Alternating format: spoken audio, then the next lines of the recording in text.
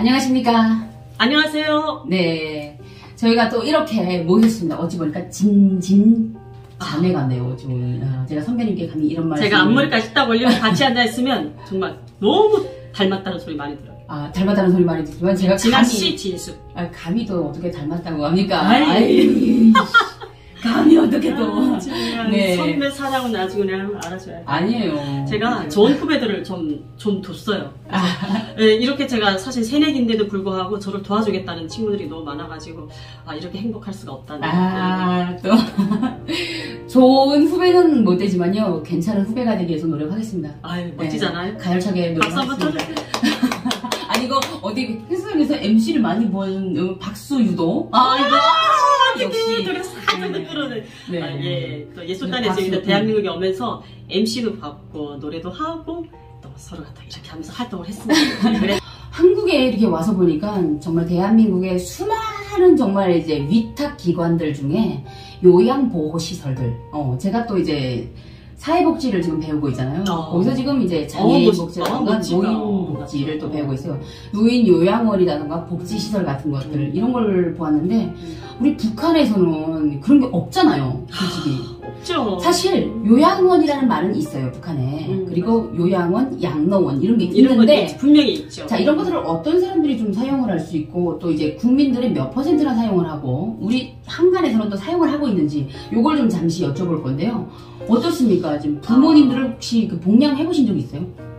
당연히 했죠. 제가 오기 전에 이제 저희 시부모님, 예, 시부모님을 제가 한 거의 18년 정도 제가 이제 모시고 제가 살았죠. 그 외모, 외, 그 우리 외며느리고 또 이제 맏며느리는 의뢰, 응당히 이제 부모님을 모셔야 되는 게 저희 북한의 또 이제 이런 풍습이고. 어, 풍습이 있던 예. 전례이기도 하고 그러니까 아 당연히 아, 마시고 하면은 부모님 모셔야 되겠다라는 의무감 가지고 시집에 가지. 근데 어땠어요 모셨을 때 이제 한국에도 우리 보게 되면 그러잖아요 뭐 이제 추석이나 뭐 청명이나 뭐 음.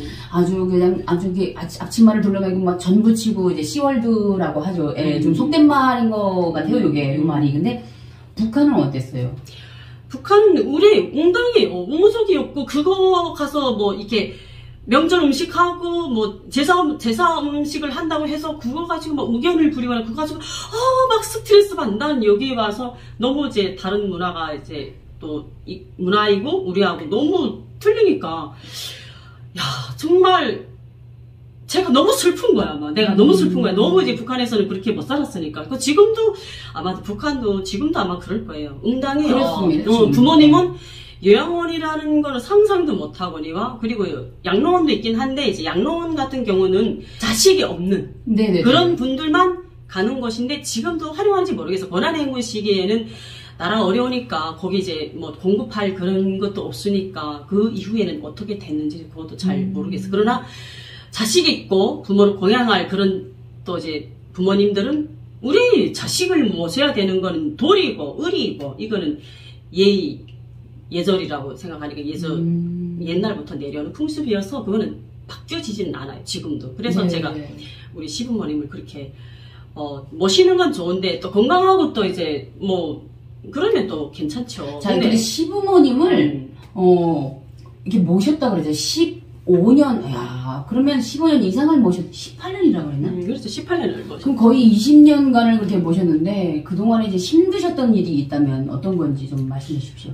어, 우리 시부모님 너무 이게 젊으신 나이에 53살에 뇌출혈이 오셨어요.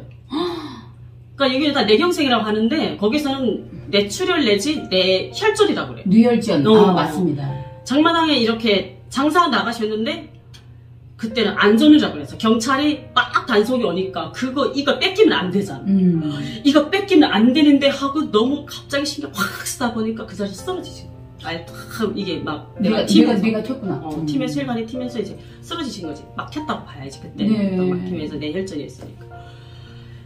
갑자기 이렇게 쓰러지셨는데 어떡해? 누가 거둬? 내가 의무적으로 거둬야 돼. 그때가 내가 너무 어린 나이였고 뭐몇한 번도 경험? 몇 살이었어요 그때? 그때 25살이었지. 25살. 25살에 생전 겪어보지도 듣도 어, 들은 맞지만 겪어보지 못했던 그 시부모님을 내경색이라는 게 쓰러지시면 이 반표를 또 못 쓰는 그렇죠. 응, 막, 막 그런 병이어서 오른쪽을 못 쓰시는 거예요. 이렇게 딱 그걸, 절반. 그걸 갖다 혹시 동풍이라고 했나요? 풍이라고 그러죠. 풍이 그러니까 왔다고. 풍만 났다. 중풍이 왔다고 그러죠. 음. 동풍이 아니고 중풍이 왔다고 그러죠. 북한의 그 개성 쪽에서는 어. 동, 동풍 왔다. 저 동풍 오라고. 우리는 그러니까 이제 그쪽에서는 중풍이 중풍이 걸려서 사투리로 바람 지났다고 이렇게 말을 해요. 바람지. 바람 지났다. 아. 바람이 바람이 쳤다. 바람 지났다. 이거를 아. 여기서는 아, 뇌혈전, 뇌경색, 뇌출혈. 거기서 뇌출혈을 하는데 우리 또 북청 쪽에서는 사투리로 야, 그 집 할머니 바람 지났다더라. 부이 왔다더라. 이렇게 얘기를 합니다. 사투리가. 풍, 풍이. 왔다. 풍이 왔다. 이렇게 얘기를 하고 아마 옛날 분들은 아마 이 수로를 잘 아실 거예요. 절반을 딱 못 쓰시니까 누워서 일어를 못 나요. 움직임도 안 되고 병원도 없어요. 그냥 그래도 먹 중풍이 오면 그냥 한동안 못 먹죠. 아. 애 쓰러지고 음식도 못 먹고 이제 막 그렇게 정신없이 앓으시니까 그래서 그때는 다 돌아가신 줄 알았지. 근데 이제 음. 대소변을 그냥 누워서 보시고 이러 못 나니까 이게 음. 그때부터 내가 대소변을 다내 손으로 한 3일까지 한 4일까지는 내가 대소변을 받았지 받았는데 5일이 되는 날 금방 이거 북한 일회 여기는 일회용 다 기저귀가 있잖아요. 네네네. 북한은 일회용 기저귀는 고사하고 이런 없어진 이불등을 뜯었어. 광목천도 없죠. 이불등을 뜯어서 흰 강목천을 다 찢어서 기저귀를 만, 만들었어. 내가 네네네. 만들어서 내가 시집 올 때 엄마가 해줬던 이쁜 이불등, 이불 다 응. 찢- 뜯어갖고 다 찢어서 기저귀를 만들었는데 금방 가랬는데 15분 있다가 또 뒤를 보셔. 음. 또 가랬어. 근데 동네 분들 앉아서 또 아프시다고 하니까 병문안 오신 거지. 또 가랬는데 세 번째 딱 가래고 나니까 서름이 받치면서 눈물이 확 나는 거야. 나 이 고생을 어떡하냐. 엄마가 너무 원망스러운 거지. 나 어린 나이 이렇게 시집 보내놓고 나 이게 어린 나이에 내가 벌써 어떻게 시 그때는 장사도 해야 돼. 그때 고난행군 시작돼가지고 그러니까요. 장사도 해야 되고 부모님도 모셔야 돼. 그런데 거기다 아프기까지. 한 끼가 새로웠을 텐데. 그때 막 펑펑 이렇게 소리도 못 내고 기저귀를 가리면서 계속 눈물이 이렇게 막 흐르는 거지. 그러니까 너무 이렇게 우니까 그 면회 오신 그 동네 아주머니가 내가 우는 게 사실 내가 안타까 내가 너무 나를 생각하니까 내가 너무 불쌍한 거야 내가. 그렇죠. 근데 그분들은 시부모님이 이렇게 아프고 하시니까 그게 마음이 아파서 우시는 걸 그렇게 생각하면서 아휴 어떻게 너무 아파하지 말라고 이렇게 나를 위로하는데 사실 솔직한 말이지만 아, 동문서답이네 완전. 어 그렇지 내가 우는 게 왜 우는지 말은 못하니까 우리 북한에서는 김어버리 이제 이- 이민하고 음. 살아야 되니까 그렇게 해서 조금은 괜찮아지셨는데 그래도 이쪽 원- 오른쪽은 아예 못 써지 절반 그러니까 이제 누워서 계속 15년이라는 세월을 그렇게 했지 진짜. 제일 내가 지금도 이제 속상하고 어려웠던 게 변방. 겨울 음. 겨 여름에는 그래도 막큰 이런 하천물이라도 찰찰찰 흐르니까 나가서 이제 소변 보시고 이제 속빨래를 내가 할 수가 있는데 겨울이 제일 문제예요. 겨울이. 대한민국 가서 제일 부러웠던 게 세탁기. 네. 세탁기를 전기가 왕왕왕 돌아가니까 쓸 수가 있다라는 거. 우리가 언제 막 지금은 솔직히 게을러서 빨래 하나 빠는 것도 싫어요, 사실은. 막 게을러져서 너무 좋은. 세상이 오다 보니까 이게 복속에서 복이 터져가지고 이제는 점점 제가 게을러지더라고요. 내가 북한에서 어떻게 살았는데. 근데 세탁기가 없잖아요. 따뜻한 물도 또 이제 불을 떼서 물을 끓여야 되니까 그것도 아까워서 어떻게 하냐면 디본 그거를 그냥 버릴 수가 없잖아. 그냥 그거를 따뜻한 물에다가 한 번씩 이렇게 씻어가지고 거기다 이제 가루비누 쏟아 넣고 가루비누 없을 때는 그 정어리 비누라고 있어요. 네. 정어리 우리 이 오유 오류 오유 가지고 만든 비누가 있거든. 양재물 넣고 쌀 껴 갖다가 이렇게 집에서 막 비벼가지고 이런 버츠에다가 저 굳혀놓으면 다 굳어지면서 비누가 돼. 거기서 칼로 쭉쭉 네모나게 이렇게 두고처럼 썰어가지고 그 비누를 쓰거든. 냄새가. 냄새가 그거 그걸 한번 옷을 빨면은 그 정어리 그 비누 냄새가 빠지질 않아. 그냥 바닷가에 가서 그 에, 좋은 비린내. 비린내, 비린 나쁜 비린내가 또 있잖아. 쩐내, 쩐 냄새라, 음. 거기 쩐 냄새라고 보면 되지. 그러니까 그쩐 냄새가 막 나도 뭐 어쩔 수 없이 그냥 그걸 입고 다녀야 되니까. 그래서 그 비누를 속빨래를 우선 집에서 이런 버치에다가 다 이렇게 비누칠을 하고 헹구는 거는 그 추운 떵떵한 겨울이라도 그 빨래임을 이고 하천으로 나가야 되는 거지. 나가면 그래도 좀 날이 좀 풀려서 얼음이 없을 때도 괜찮아. 얼음이 이렇게 두껍게 질 때는 이게 명절 때나 설, 설이나 이제 2월 16일이나 4월 15일이나 또 생일이 끼고 하면 그래도 또 조금 음식을 평소에 드시지 못하던 거를 좀 고기라든가 좀 이렇게 빛다른 음식을 조금 조금 좀 더 드신단 말이지. 그러면 바로 설사를 해요.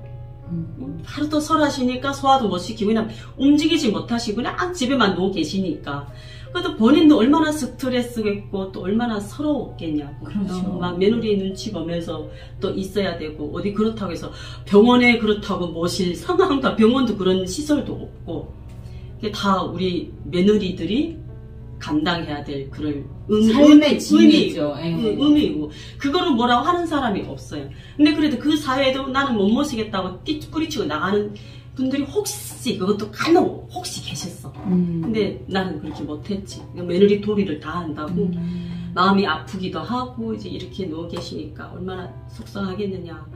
그 빨래를 두고 이제 하천에 나가요. 나가면 막 물에다 헹굴 때는 괜찮아. 물에다 엿다 한번 쫙 뽑으면 그 빨래가 걷어낸 순간에 쫙 살얼음이 껴.